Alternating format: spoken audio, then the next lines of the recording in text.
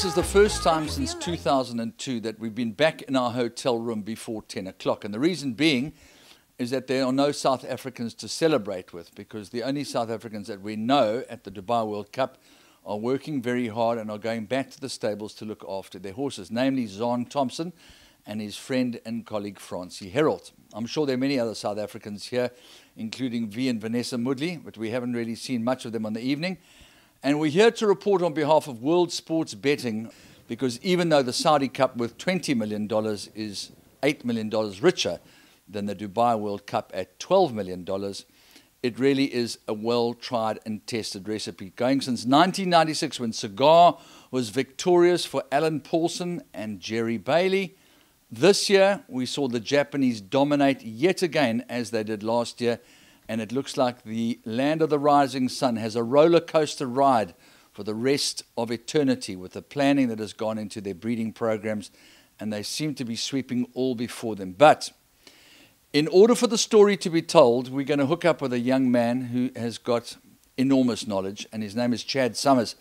He's a trainer and a former winner of the Golden Shaheen on two separate occasions with a horse called Mind Your Biscuits, who had a winner today in the UAE Derby and Chad is just an absolute mindful of information. And we caught up with him after the running of the last race to give us some insight into the UAE Derby, the Dubai Turf, the Golden Shaheen, of course, the Sheema Classic, and then finally the Dubai World Cup, which turned out to be an absolute meltdown for those horses who went to the head of affairs. The horse that won the race, I couldn't actually believe my eyes.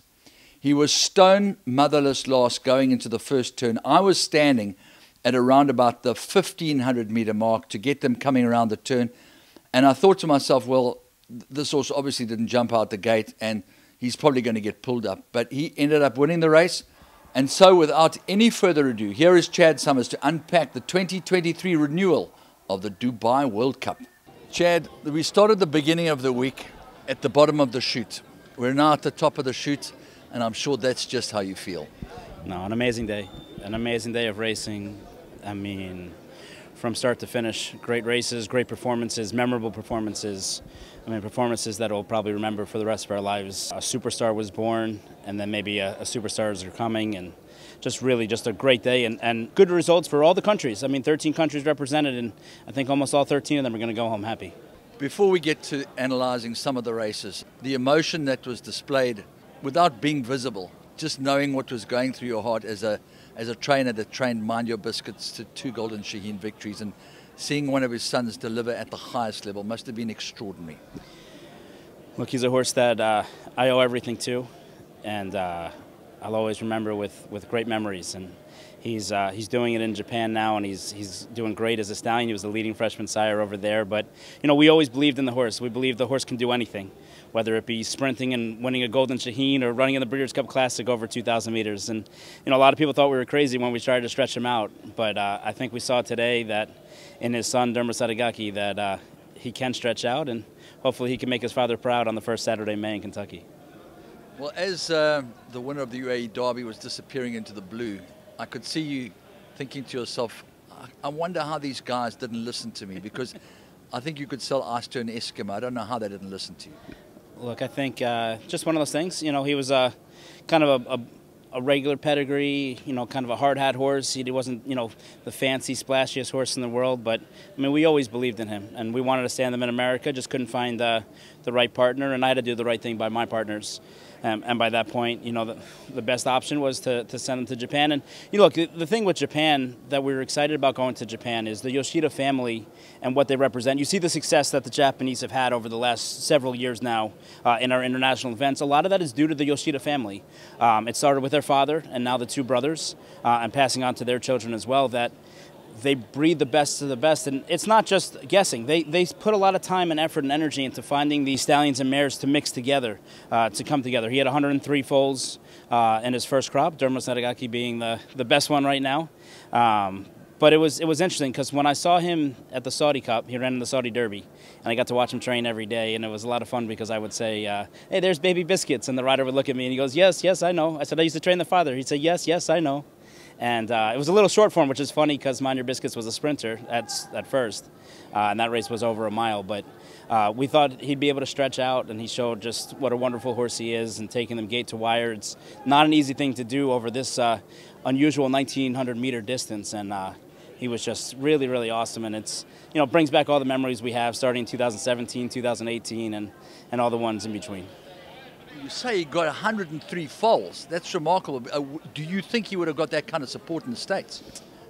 I mean, I would have tried. I would have called the phone book and done everything I can. I would have sold the seasons myself. But uh, look, I think he was well represented. He's going to be well represented now in the future. Um, this will be obviously his, his best crop. You know the bears that he get this year into year four, and you know I think the Yoshida family is very happy with the uh, the purchase they made of Mind Your Biscuits, and uh, I think all the American breeders can get a good look at his son in Kentucky on the first Saturday in May. I'm kicking myself because we were on the bus with young Chelsea, the work rider that, that rode. At the end of the day, he's a composer that just denied Switzerland of his second victory. Yeah, great, great race. Race of the day. I mean, as far as you know, to the finish. Obviously, we saw some remarkable finishes, whether it be in the World Cup or in the Sheema Classic. But the, as far as the race of the day, uh, has to be the Shaheen. Exciting finish. We knew they'd go fast early, which they did. Uh, Switzerland. It just took him just a second to get out. He got in the clear, and and Ty came with a huge run. It looked even at the wire like he might have won, but uh, give all the credit to Ryan Moore too, and obviously young trainer Jeremiah O'Dwyer. I mean, Jeremiah he was here before. They used to call him Goose. He was just a work rider a long time ago in Dubai, and he always said that he'd come back. And he came back in 2020, and he got sent home. Uh, he was here for the UAE Derby, and they canceled racing because of COVID-19, and he said, I'll be back. And now he's back, and this is his first runner. And uh, the horse was touting himself all week long. Uh, he was posing for pictures for you and anybody else that would pay attention to him. And Laura King had a daily uh, Sibelius watch every day. He would uh, he would go on the track, and I mean, just the, the guts from Ryan Moore to come up the rail like that.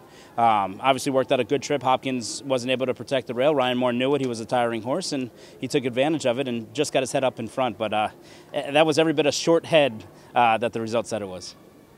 Lord North Sublime probably never see that again in our lives before, having been privileged enough to see Right Approach and Paolini dead heat. Last year, dead heat. This year, clear, as the commentator said, he's not going to have to share. You know, it'll be interesting to see if he comes back next year. Frankie's calling it quits. We'll see if Lord North calls it quits next year, too. But, man, I mean, to do it three years in a row, I mean, John Gosden and his son Thady Gosden, the, the job they've done with that horse is remarkable. There was a time last year when he didn't go to Saudi that we thought he might be retired. You know, he had, a, I think, a throat operation at some point, and um, it was it was touch and go if he'd ever run again. Uh, prepped over an all-weather surface, and and uh, and then came over here last year and dead heated with Panthalassa, who came back and won the, the Saudi Cup this year, and, and now to do what he did this year, and, and to work out a great trip. I mean, just bravo to all the connections on him, and, and three years in a row. That's something you're right. I don't I don't really think we'll see again. Just as Almond Eye was a horse for the ages, so too have we seen an absolute massacre in the Sheema. Listen, the buzz horse coming in here was Equinox, and we talked to some well-known Japanese connections when we got here uh, at the beginning of the week, and they had 27 runners, and we talked to them, and, and they're sharp. The, the Japanese connections, they know their horses, and they said to me, "We know Equinox will win. It will be by how much. The other horses, we wonder if they will win." Well, they won three but Equinox certainly was the start, and the answer was three and a half lengths, and probably could have been about 13 and a half lengths. To, to, to talk to some of the losing connections after the race, from from Charlie Appleby to, to some of the jockeys, you know, all of them just in awe of, of the performance of Equinox. I mean, just an unbelievable performance, and you know whether he goes the route of the, the Arc de Triomphe for the Breeders' Cup uh, turf will be one that we'll follow, especially since the winner of the Dubai World Cup just said he wants to go to the Arc de Triomphe. So maybe they will uh, they'll match up over there. We'll see what happens. Well, I've been coming to this race since 2002, and I have never ever seen a Dubai World Cup field decimated with a pace that was set early. I was on the first turn. I thought that the horse coming into the first turn, dead last by a long way, was going to pull up. I thought to myself, it's not possible. I didn't realize how fast they were going, but when I saw them fold like a pack of cards, horses that were on the lead, and the hard luck stories, speaking to Ryan Moore, speaking to Frankie, it's just suicidal, that pace.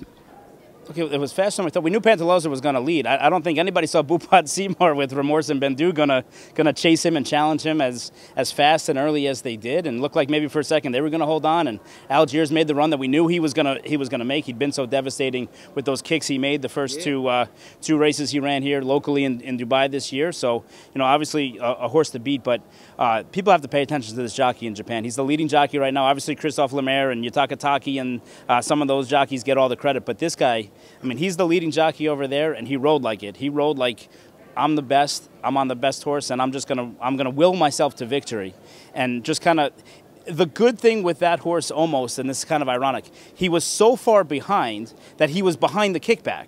So he avoided the kickback by being an extra five lengths behind. I don't think that was their plan, but by being an extra five lengths behind, it kept him cleaner gave him more confidence. And so when he made that run and came outside, he was relatively clean. His silks are very, very clean for a horse that was desperately last early on in the race. And uh, just all the credit to them. Very emotional moment with his son in the uh, the winners enclosure, and you know very happy for the connections involved. Japan wanted to win the Saudi Cup. They wanted to win the Dubai World Cup. They came out in force and in numbers, and and they got the job done. So you know all credit to uh, to Japan for sure. You know the horse that needs to be mentioned in this race is Emblem Road. I mean, Emblem Road, if you want to talk about a horse that had a bad trip, I mean, he was buried, buried. And when he finally got a chance to go outside, he made a move that was similar to the Saudi Cup from 2021 or 2022. Yeah. Looked phenomenal. We'll see him in the Breeders' Cup. And he's a horse with a very, very promising future, uh, on a quality road do you have any long-term vision as far as the Kentucky Derby is concerned? I know it's still a way off, but have you seen anything that excites you? I know my friend Greg Watson says that there are many trials still happening and will continue to happen. Yeah, today today was kind of the start of the, the last go-rounds. It starts here in Dubai, and you know not only does Derma Sotogake go, but the horse that was second, uh, he has 40 points now, and they've indicated that they have every intention of going. So we'll see two Japanese horses. Uh, the last road to the uh, European Kentucky Derby is next weekend. Uh, they're giving every indication that they're going to go. So now that's three spots. So three spots will be taken up. Uh, whether you like it or not, that's uh, draw your own conclusions, but that's the way it goes. So there'll be 17 spots left for the American horses. Forte, obviously, uh, off the Breeders' Cup win, off his first win of the year, is is squarely the horse to beat Son of Violence. The question will be if he can see out the 2,000 meters, being with his pedigree. Uh, it gives no indication that he can't. Uh, but that'll be the one kind of remaining thing left to click off on the CV is whether or not he can do that. And, and we'll see. Today we got the Louisiana Derby with a horse named Instant Coffee that we're, we're very excited about. And, uh, and, and the beat will go on, as they say. But uh, tune in for the next three weeks as, uh, as the field gets firmly set. As Instant Coffee has the black cap. In the meantime, it's still Kings Barnes. Kingsbarns. Kingsbarns, one furlong to go. And Kingsbarns looking to finish them off in the Louisiana Derby. And Kingsbarns has opened up. Five lengths now on Disarm, who's gained second from Jace's Road. Chopper's Revenge. Instant Coffee is next, but it's Kingsbarns and Flavien Kings Kingsbarns, undefeated, three for three.